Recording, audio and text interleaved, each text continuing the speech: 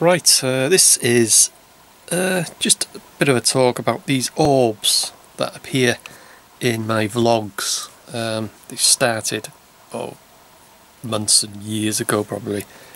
They may appear in this vlog now. Um, there was a pause for, well, several couple of months probably where you know I've been doing my, my usual vlogs to camera um, but they've reappeared again. They've started appearing in my uh, in my vlogs. In my last vlog, uh, three appeared. Sometimes you'll just get one, you know. Then in another vlog you'll get several of them, and I'm just trying to piece things together. Um, obviously, you can rule out a fly, a moth, an insect, and a piece of dust, and whatever you know, I've done analysis videos and it's none of them. They are orbs. Now then, there are several types of orbs. Um, I got this book, oh I've had this months, months ago now. Ghost Hunting, Understanding Orbs. And explains all the different types of orbs and what have you. But um, a lot think or believe that an orb is a ghost trying to manifest itself.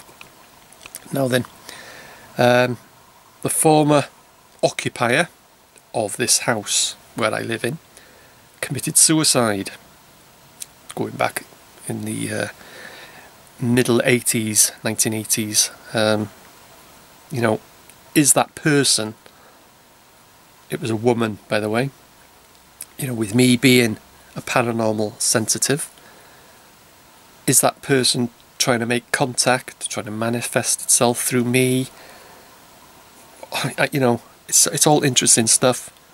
Um, you know, to put the three things together. You know, me being a paranormal sensitive, sensitive to paranormal activity, which if you've followed my videos, you'll you'll see about that.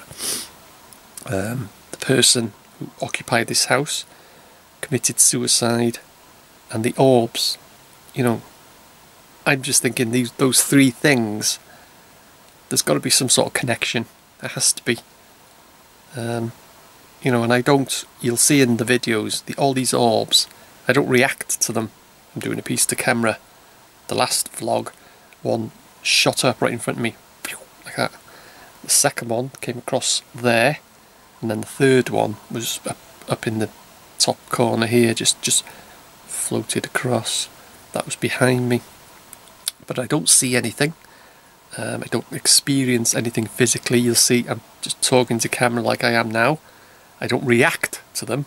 You know if something went like that if I saw it I'd go you know the hell? You know I would react to it. But you can see that I don't. I don't see anything I don't experience anything either.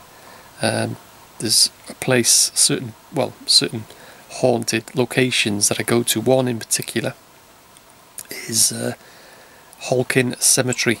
You may have seen the videos. I've got some videos on my channel of my visits to that place, and I tell you, that is haunted, definitely.